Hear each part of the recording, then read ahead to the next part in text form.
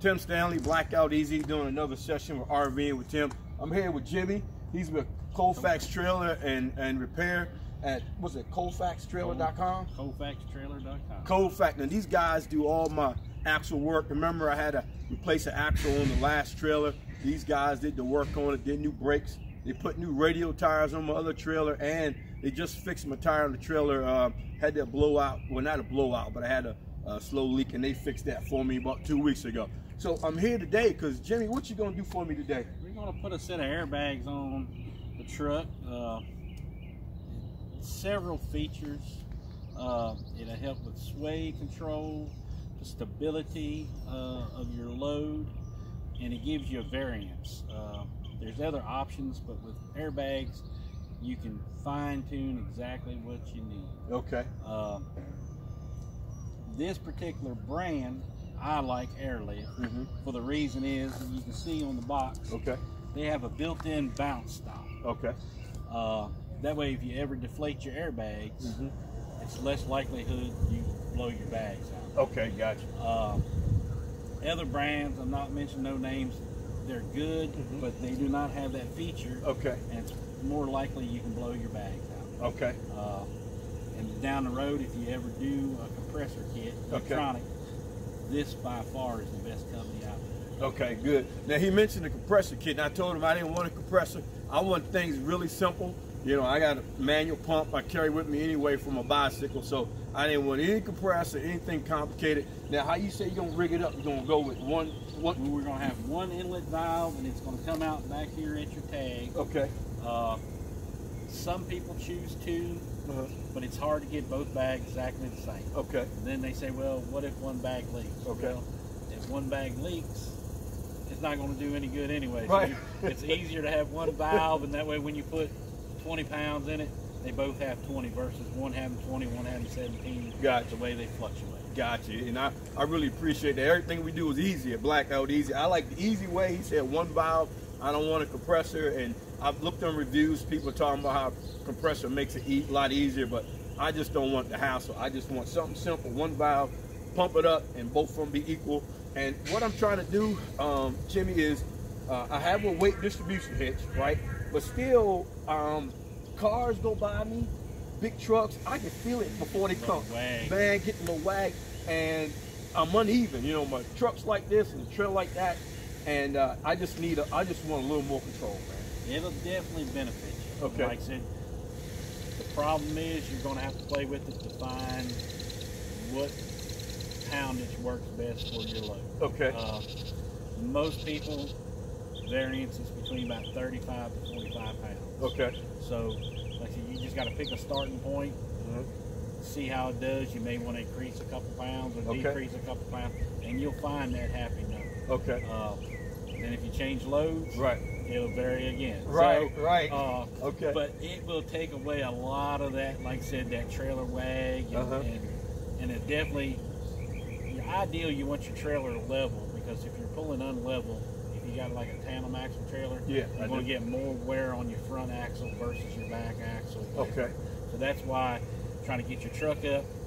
And rule of thumb is every inch your truck squats the way it sits right now in Mm-hmm. the trailer, you lose 10 feet of stop power. Wow. Okay. So say if your truck is squatting four inches with your trailer on it, it's going to take you 40 more feet to stop than what it normally would. Okay. Now you hear Jimmy. Jimmy's a pro. That's why I bring all my trailer and equipment. I, uh, I bring it to Colfax and, and let Jimmy do the work on it because. Um, and I looked. I saw this kit. Some of the kits you can do it yourself. I was like, no way. I'm gonna take it to the experts because with an expert too, you get advice just like he's talking about. And I know I can always bring it back and he can help me with it. So. Jimmy, is there is there anything else um, I need to know or the people need to know? Well, one thing about getting an authorized installer, you get a better warranty. Right. Okay. Uh, I can have stuff overnight if you had a problem. right. Down the road, like I said, or for people who do do a compressor, if I do a compressor kit, you get a four-year warranty. If I do it, Uh-huh. if you do it, you only get two years. Okay. Why? I don't understand. Well, I know why. You know why? Because if I'm doing it, I'm not as smart doing it as you are. Well, I don't never want to say nothing like that. you the expert. You do them all the time. But, so, but I mean, there's just a lot of benefits. Yeah, like I said, absolutely. whether you're pulling or Right. just putting weight in your truck. Okay. I mean, you'll you'll benefit from it. all right. Well, well, Jimmy, I'm excited. So I'll be, I'll drop the truck off, and I'll come pick it up later. And man, I'm ecstatic to pull, make my first pull on it. We'll talk about it. All right. Yes, sir. Hey, appreciate you, man. Yes, sir. Thank you. Yes, sir. I'm back. Been a couple of hours since I seen you, so you want to tell me what you did? Well, we took the factory bump stops off. Let me show you the factory bump stops. Uh, All right. So you took those off. took that's your factory bump stops. Okay. And then you got an external mount airbag set up on here. Uh, like I said, that replaces that. It's a helper. It, you know, each bag will do 5,000 pounds Okay. support. So Okay. you got a total of 10,000 more pounds of weight capacity. Okay. which is All right. Probably more than you'll need. Right. Uh, Right. Got a T valve in there. Uh-huh. We got one port right here Okay. to air it up. And like Okay. I said, you know, there's people who use bicycle pumps. That's what I'm gonna use. My son actually bought a forty dollar little air pump like a drill. Okay. That thing is the neatest thing ever. Is that right? Yep. But but like I said, it's not, like I said right now where we got it up, like you can just let some air out of it. Okay. So, and a good question. Say that again. Like I said, you can just push in and let your air out. Uh huh. You see your truck going down. Oh, okay. Because when I pulled up, I said, "Hey, my truck looks kind of high." It is. You can see a truck Yeah. going down. Yeah. when we pulled up, I can see the difference was. Oh, but uh, sir. Yeah. But like I said, I would suggest keeping, like I said, five pounds in it Mm-hmm. all the time. Okay. Like I said, that's not going to affect your ride. Okay. It's probably not going to raise you up a half inch more than Mhm. factory. It just makes it easier on them bellows because Okay. you, if, if they're completely empty and you get hit in bumps, Mhm. that's what makes it harder on your bag. So you Okay. just you work your bag harder than needed. If it's got a little air in it, they're not completely slashing flat. I got you. I got you. So Uh, five pounds. Remember, I need to keep yes. in there. Yes, All right. sir. now, what's the max I need to put? it? I can. Well, you can put up to 100 psi. Okay.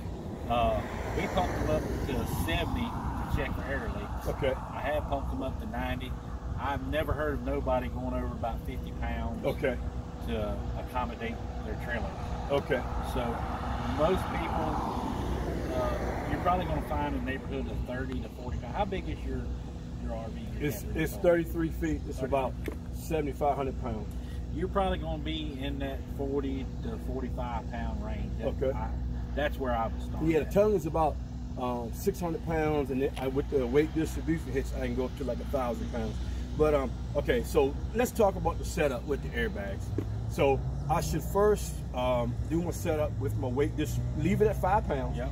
Do my weight distribution hitch, get that set up. Yep.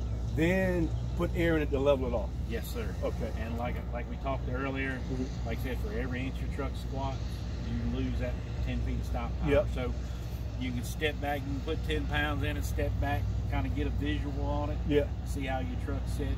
If you Okay. feel you need a little more, add it. Okay. And then, like I said, you may, it may look good, but it may be too stiff. Or Okay. it might make, dang, oh, my truck riding a little rough. Okay. You might have to take a few pounds out. Okay. Is this all like the Yeah. feel and control you Yes, got on the road? yes, sir. Like I said, my personal truck, when I had that big trailer out there a little Yeah. while ago, Uh huh.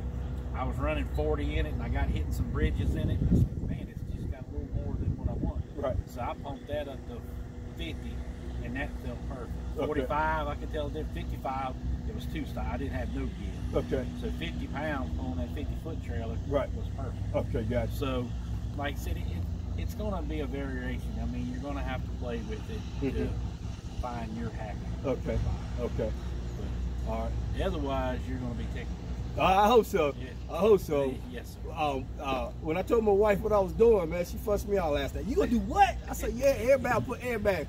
Oh my goodness. And uh, and I told her about, see, you gonna put airbags in it? So, but yeah, um, but she Yeah. she's not driving it. You know, she's on the passenger side. She don't feel it. She don't feel. Well, you know what? She can feel. She has the wind blowing or something, and it's amazing when I'm pulling that trailer. I can a car come past me before I can feel the car before I even see it. Get that wind. I get that wind, and I just want to. I just want a better, better ride, better control. I have some customers that have the compressor set up. Mhm. They'll actually, they instead of putting a little air in it, they'll they'll hook up and then they'll stand over, say, toward that truck 20 feet away, Right. and just watch their truck and get their truck. Oh, see that now with the air compressor. See, you didn't say all that. See, you see. You see what I'm saying? You can always come back and add and get fussed at again. Yeah. Okay, okay. That's what keeps it interesting at home. Okay, okay. I got you. So look, is there is there maintenance I need to come back to you every now and then or what's This is a maintenance-free setup. You Okay. Nothing to worry about. okay. And just use the same uh, valve I use, uh, pressure gauge, do tires, just do that. Yes, sir. Like I said, if you're going to run low pressure, you got to make sure you might have a low, like a full. Yeah, yeah, I got yeah. Like I said, some of my truck ones don't go down to Okay. 10, 15 pounds. I Right. mean, they might, Right. lowest they might go is 30 40 pounds. Gotcha. So, Okay. uh, some of them did, little digital ones work really good on Okay. these airbags. I'll do that, man. So look, I, look, I'm ready to go camp. I'm gonna go get the camper right now. I'm just kidding. I'm just kidding. Look it up. Hook it up. All right. Look it up. So man, I really appreciate you. Um, dropped it off. What about 10:30, 10 o'clock? Yes. Now it's 4:30, and it's been waiting because I called the lady. She said, yeah, it's ready. It's up front. So man, I appreciate you. Uh, About three hours. took about three hours. Yes. Man, it looks professional. I looked at it and just. Uh, let's get another look at this. Uh, look at that system. Look at that, man. I feel like I'm a truck driver. You see that in there? You see that airbag in there? Looking like I'm a. All I need is a di- diesel engine now. You, you sell diesel engines, I can sound like a big truck. We can do a swap. Okay. We, all right. So Tim Stanley, Blackout EZ, doing another session with RVing with Tim. I'm here with Jimmy. We at Colfax Trailer and Repair. I do all my trailer work here. Axles, they do all that for me. And uh, it's at colfaxtrailer.com, right? Yes, sir. It's in Colfax, North Carolina, right here off uh, 40 and, and, and close to 68, so Sandy Ridge Road. So if you need anything, come out and see these guys and take care of you. And I'm gonna shoot a video when I first hook the trail up and talk about it. So man, I'm tickled pink. Appreciate you, buddy. Yes, sir. Thank you. And have a great day. Yes, sir.